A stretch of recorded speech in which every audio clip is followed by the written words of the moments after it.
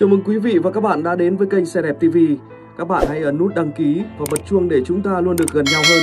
Thưa quý vị và các bạn, những ngày qua dịch Covid-19 bùng phát, diễn biến phức tạp đã chi phối ảnh hưởng rất nhiều đời sống kinh tế xã hội.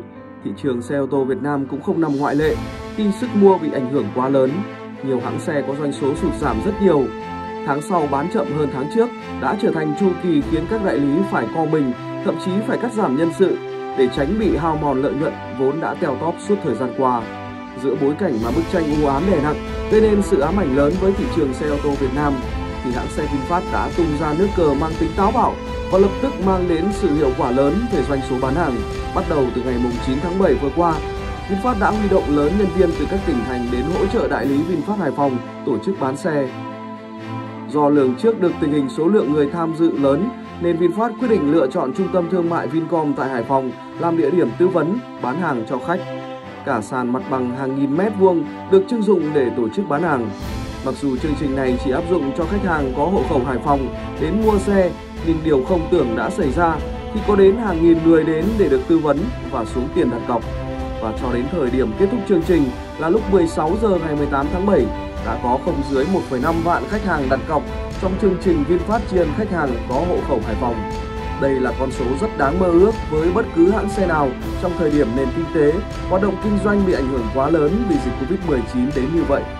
Hơn 1,5 vạn hợp đồng đặt cọc mua xe, hợp lệ và con số quá lớn và điều đặc biệt với những khách hàng hộ khẩu Hải Phòng mua xe chỉ việc đặt cọc 20 triệu đồng đối với xe VinFast Fadin và 50 triệu đồng đối với VinFast dòng lắc.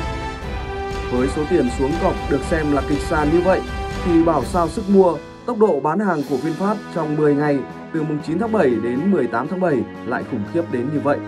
Tính ra, 1,5 vạn hợp đồng đặt cọc trong 10 ngày bằng cả doanh số bán hàng từ tháng 1 đến tháng 6 năm 2021 của hãng xe VinFast. Nói thế là bởi, theo số liệu từ VinFast vừa công bố đợt đầu tháng 7 là trong nửa năm 2021, hãng xe này bán ra tổng cộng 15.938 xe, trong đó có 10.127 chiếc Fadin, 3.253 chiếc lắc A 2.0 và 2.558 chiếc lắc SA 2.0. Quá kinh khủng về tốc độ bán hàng là cảm nhận chung của những người chứng kiến đợt mở bán 10 ngày vừa qua ở Hải Phòng của VinFast.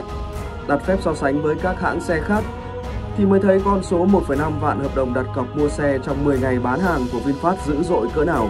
Theo đó, trong 6 tháng đầu năm 2021 tại Việt Nam, hãng xe Hyundai bán được 34.035 xe, còn Toyota là 29.857 xe, Kia là 21.556 xe, Mitsubishi là 14.915 xe, Mazda là 13.297 xe, Honda là 12.035 xe, Ford là 11.428 xe, Suzuki là 6.773 xe và Peugeot là 3.405 xe. Sở dĩ lại có phép so sánh như vậy để toát lên một điều rằng VinFast đã chơi một ván cờ đầy toan tính trong việc vừa thúc doanh số bán hàng mà vừa phủ được rộng lượng xe trên đường phố để từ đó sớm lọt vào top 3 thị phần dẫn đầu các hãng xe có doanh số cao ở Việt Nam. 10 ngày bán được hơn 1,5 vạn chiếc xe là câu chuyện mà sẽ được nhắc đến rất lâu nữa trong đời sống xe ô tô Việt Nam của VinFast. Và câu hỏi được đặt ra, tại sao nhiều người lại đổ xô đi đặt cọc tiền mua xe VinFast đến như vậy? Theo tìm hiểu của chúng tôi, VinFast đang áp dụng chính sách ưu đãi riêng cho khách hàng có hộ khẩu tại Hải Phòng, nơi VinFast xây dựng nhà máy sản xuất lắp ráp ô tô. Theo đó, ngoài chính sách ưu đãi giảm giá kích cầu tháng 7, hãng xe Việt tiếp tục giảm 70 triệu đồng cho khách mua xe VinFast Fadin 2021, giảm 100 triệu đồng đối với Lux A 2.0 và giảm 125 triệu đồng đối với Lux SA. Riêng riêng hai mẫu xe hơi Lux vẫn áp dụng thêm voucher giảm giá 200 triệu đồng. Như vậy, khách hàng tại Hải Phòng có thể hưởng ưu đãi 300 đến 325 triệu đồng nếu kết hợp voucher giảm giá. Sau khi trừ hết ưu đãi, giá xe lắc A 2.0 giảm còn 581 đến 774 triệu đồng. VinFast Lux SA 2.0 giảm còn 801 và 1 tỷ 046 triệu đồng. Trong khi giá xe VinFast Fadin giảm còn 266,5 đến 325,1 triệu đồng. Ví dụ, khách hàng Hải Phòng mua chiếc Fadin bản tiêu chuẩn chỉ phải bỏ ra số tiền 266,5 triệu đồng. Và điều đặc biệt, trong số hơn 1,5 vạn hợp đồng đặt cọc mua xe trong 10 ngày qua thì có đến hơn 70% là khách mua Fadin. Đây là con số cực kỳ hấp dẫn và nhiều người nói vui rằng chưa bao giờ chiếc Fadin lại có mức giá cạnh tranh đánh bật mọi đối thủ ở phân khúc hạng A đến như vậy. Tuy nhiên, chỉ những khách hàng có hộ khẩu đăng ký Hải Phòng mới được mua xe với chính sách ưu đãi như vậy. Và sau khi mua xe, khách sẽ phải đăng ký lăn bánh tại thành phố đất cảng. Sức mua quá lớn với sự ưu đãi cao và với một thành phố có hoạt động kinh tế phát triển và năng động kèm hệ thống cảm biến lớn, giao thương cao nên lượng người có tiền để mua ô tô cao. VinFast đã đánh trúng địa phương tập khách hàng có tiền nên sức mua mới lớn như vậy.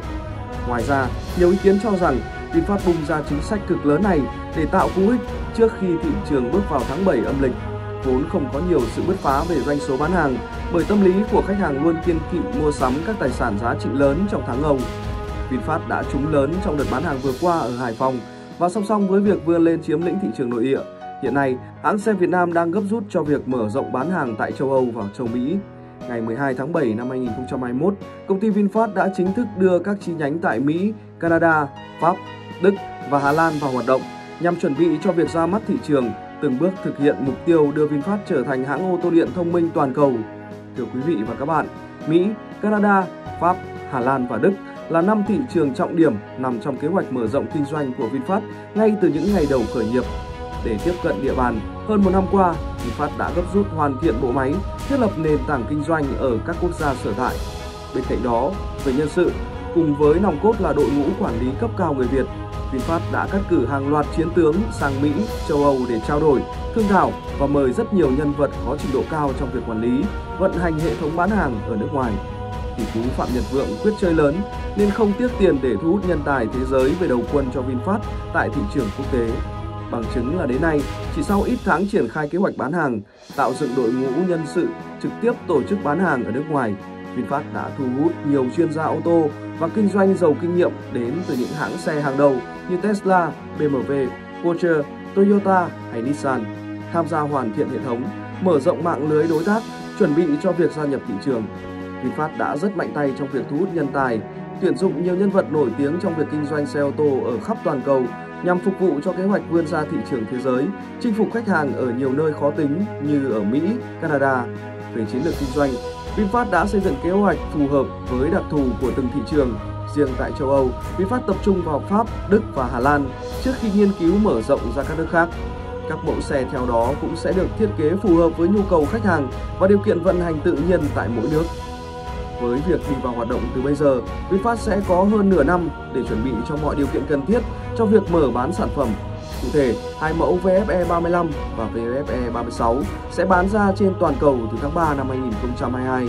Đến đây, video của kênh Xe Đẹp TV xin phép được khép lại.